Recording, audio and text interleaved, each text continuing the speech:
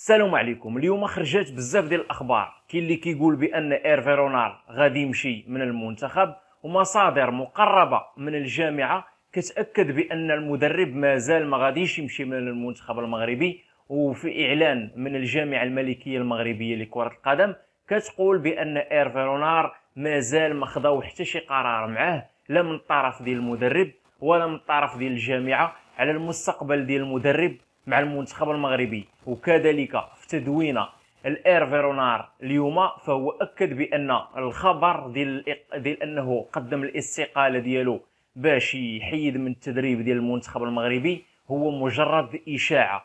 وقال كذلك بأنه بمطلب منه آه، كان تواصل ليه مع فوزي القجع وقاموا بحاصلة ديال كأس أفريقيا الاخيره اللي كانت في مصر. ما هو إيجابي؟ وما هو سلبي وكذلك اعطى الرأي ديالو في هذه المشاركة هذه ديال المنتخب المغربي وكذلك فجميع القرارات أكدوا بأنها ما تخرجش للعلن. اذا هنا هنا ربما بأنه كاين شوية ديال الغموض. آه، الأمر ديال الأخبار اللي كتعلق الرسمية اللي كتعلق بالمدرب والمستقبل ديالو مع المنتخب المغربي كيقول بأنها ما تخرجش للعلن. آه، ربما بأنه هنا كاين فين كاين الخطأ. غادي تولي الإشاعة وكل واحد غادي يولي يغني حسب ليلاه كل واحد غادي يقول الأشياء اللي بغى. الجمهور المغربي من حقه أنه يعرف ما هو رسمي. آه، كان الأجدر والأولى أنه من بعد كأس أفريقيا يكون هذا التقييم بندوة صحفية يحضر لها آه، الكل باش أنه نعرفوا آه، ما هو الشيء الإيجابي والسلبي اللي كان عند المنتخب المغربي. فضل كان هذا. ما تكونش فقط أنه من بعد كل واحد شد الطائرة وقصد الوجهة ديالو كاين اللي مشى دار وجهة سياحية ونسى جميع التفاصيل وبزاف ديال الأشياء اللي عصبات الجمهور المغربي. من الإقصاء اللي خرجنا على يد منتخب ما مصنفش مزيان داخل القارة اللي هو البنين وخرجنا في واحد المفاجأة اللي فاجأت الكل. وجميع المغاربة عندهم حسرة. ايرفي رونار مازال عنده عقد مع الجامعة كيربطوا حتى ل 2022 بالمنتخب المغربي. كنعرفوا بأنه في أي عقد كيكون شرط جزائي. شرط جزائي ربما بأنه كيوقف حاجز منيع أمام الطرفين بجوج. الجامعة إلا بغات تقيل المدرب خصها تخلص ليه هذا الشرط الجزائي وهنا غادي يكون واحد الخطا كبير. بحكم أن ايرفي رونار شئنا أم أبينا بأنه قدم أشياء إيجابية للمنتخب المغربي ودابا شوية غادي نعطيكم بعض الأرقام ديال ايرفي رونار مع المنتخب المغربي. وكذلك الطرف الآخر اللي هو المدرب إلا بغى يقدم الاستقالة ديالو خصو يخلص الشرط الجزائي. هنا غادي يكون صعيب على الطرفين أنهم ياخذوا المبادرة. ايرفي رونار فهو قدم أشياء إيجابية للمنتخب المغربي. باش ما نشوفوش فقط الأشياء السلبية والنصف الفارغ من الكأس نشوفوا النصف النصف الممتلئ. وهو بعض الأرقام اللي قدم ايرفي ربما بأنه تشفع للمدرب وكذلك للجامعة أنه تخليه حتى يكمل العقد ديالو في 2022 شخصيا أنا مع الإبقاء على إيرفي رونار مع المنتخب المغربي. هذه فقط وجهة نظر. ربما بأنها يكون معايا بعض الإخوة وكذلك ربما بأنه يكونوا بعض الإخوة عندهم رأي مخالف وهذا لا يفسد للود قضية. فالموضوع واحد وكل واحد كيتناولوا من الجهة ديالو. باش ما نكونوش فقط أننا نبخسوا الحق ديال ايرفي والعمل ديالو مع المنتخب المغربي وهذا ماشي دفاعا عن المدرب بل حتى هو كانوا عنده أخطاء كبيرة مع المنتخب المغربي وفي تدبير المرحلة. ولكن باش نكونوا منطقيين وموضوعيين المنتخب المغربي من بعد سبات عميق فهو رجع للطريق الصحيح. ايرفي رونار من بعد كنا في الرتبة 81 عالميا في تصنيف الفيفا وصلنا حاليا للرتبة 47 عالميا وهذه نقطة تحسب لايرفي رونار من خلال المباريات العمومية والكاملة بما فيها المباريات الرسمية والمباريات الودية ايرفي رونار خدا 43 مباراة مع المنتخب المغربي ربح في 23 تعادل في 9 المباريات وخسر في 11 اذا 23 انتصار مقابل 11 ربما بأنه رقم إيجابي للمنتخب المغربي يحسب للرجل على الإشراف ديالو على الإدارة التقنية للمنتخب المغربي. المدرب رفقة المنتخب المغربي الهجوم ديالو سجل 59 هدف واستقبلنا 28 كل كيشوف بأن المنتخب المغربي في الحقبة ديال ايرفي رونار استطعنا اننا نفكو بزاف ديال العقد كانت عندنا مع بعض الفرق والمنتخبات داخل القارة اللي منها الكاميرون ومنها ساحل العاج وكذلك جنوب أفريقيا. وكذلك ما نساوش بأنه في الأمس القريب كان عندنا مشكل وعقدة ديال 20 سنة للمنتخب المغربي ما قدرش أنه يوصل للمونديال وصلنا لها مع هذا المدرب هذا وأيضا العقدة ديال تجاوز الدور الأول في كأس أمم إفريقيا مع هذا المدرب هذا جوج ديال اللي كان اللي خدا معنا. 2017 التظاهره القاريه اللي كانت في الغابون المنتخب المغربي مر على رأس المجموعة اللي كانت كتضم الكوت ديفوار طوغو الكونغو الديمقراطية بسته ديال النقاط.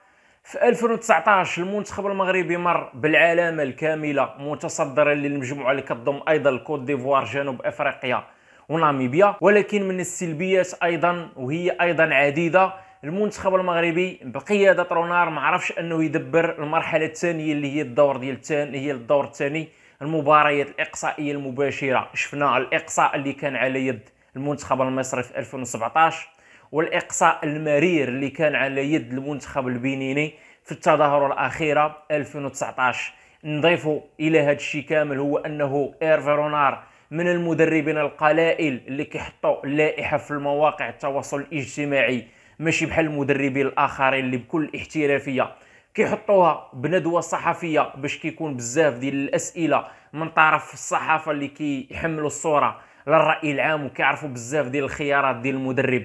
علاش بنى هاد الخيارات ديالو كيكون تجاوب ما بين الطرفين؟ وهنا كيكون واحد شوية ديال أنك كتوصل المعلومة للرأي العام اللي من حقه أنه توصله بكل مصداقية.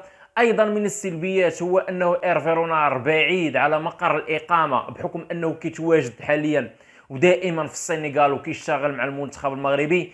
كاين هنا شوية ديال اللبس ما خصوش أنه يكون دائما في السنغال هو كيشتغل مع المنتخب المغربي.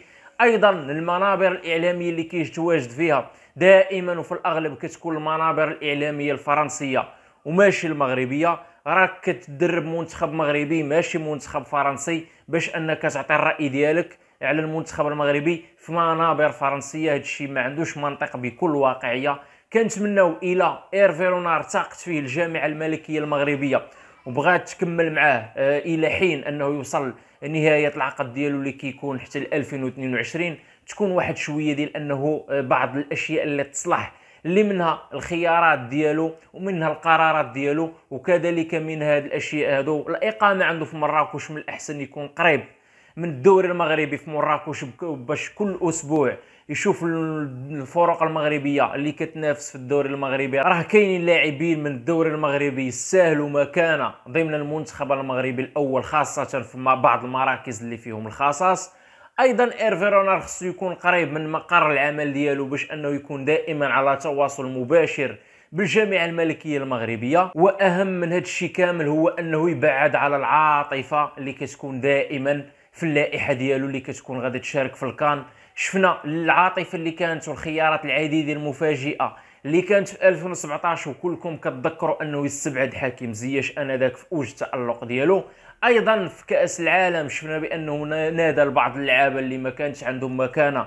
مع المنتخب المغربي وكذلك لثالث مرة كأس أفريقيا 2019 شفنا بأنه بعض الخيارات اللي كان غلط فيها وفقط بالعاطفة نادى على بعض اللاعبين اللي منهم على سبيل المثال داكوستا واللاعب خالد بوطيب. خالد بوطيب اللي شفنا بأنه عنده إصابة وما لعب حتى شي دقيقة في هذا الكان هذا وداكوستا اللي كاين إجماع عليه كاينين اللاعبين داخل الدوري المغربي بأنهم أفضل مستوى من داكوستا في طريقة اللعب ديالو مع المنتخب المغربي. اذا ايرفيرونار عنده إيجابيات وعنده سلبيات. إلا بغات الجامعة أنها تحافظ على هذا المدرب هذا من الأحسن أنها تحافظ عليه فهو عنده الإيجابيات أكثر من السلبيات.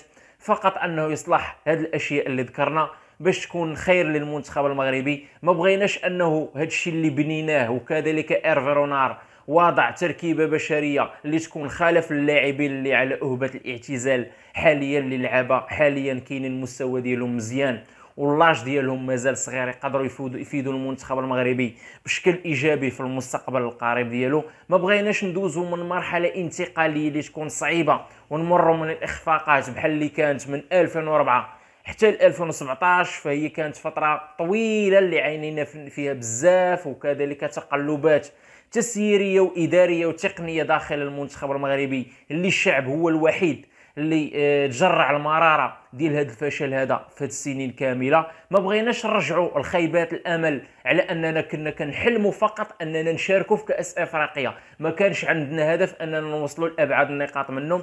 كان فقط أننا ملي كنربحوا مباراة في الإقصائيات كنفرحوا بزاف. والدليل على ذلك ربحنا واحد الفريق اللي هو على ما أظن. موزمبيق في مراكش بربعة. وناض الجمهور المغربي وفرح بزاف. وهذا الشيء فهو ماشي من الثقافة ديال الجمهور المغربي. الجمهور المغربي بغى أنه ياخذ الكان وبغى ينافس عليه وبغى يحضر في المونديال. ماشي فقط أننا نفرحوا من أجل أننا نتأهلوا لكأس أفريقيا. كاين أشياء إيجابية مع ايرفيرونار وكاين أشياء سلبية. من الأحسن أننا نتموا العمل اللي بداه اير فيرونار ونكملوه بطريقة عقلانية. شخصيا وجهة النظر ديالي المتواضعة أنا مع إبقاء على اير فيرونار باش يكمل العمل اللي اللي بداه مع المنتخب المغربي وحتى إلا كان قرار أنه يكون الانفصال كنبغي المشروع ديال المنتخب المغربي اللي جا يكملوا في الأخير كنبغيو الخير والتوفيق والاستمرارية ديال المنتخب المغربي يكون من حسن لأحسن. ما بغيناش اننا نهبطوا المستوى ديالنا ونقصوا من المستوى ديال المنتخب المغربي لأنه ولات عندنا شخصية داخل القارة السمراء والأداء ديال ديال الفرق اللي كتلعب ضدنا خير دليل على أن المنتخب المغربي ولا كيتضرب له ألف حساب. كان معكم الحجوي من قناة منتخب فانز. نتمنى الخير للمنتخب المغربي. أستودعكم الله. والسلام عليكم ورحمة الله.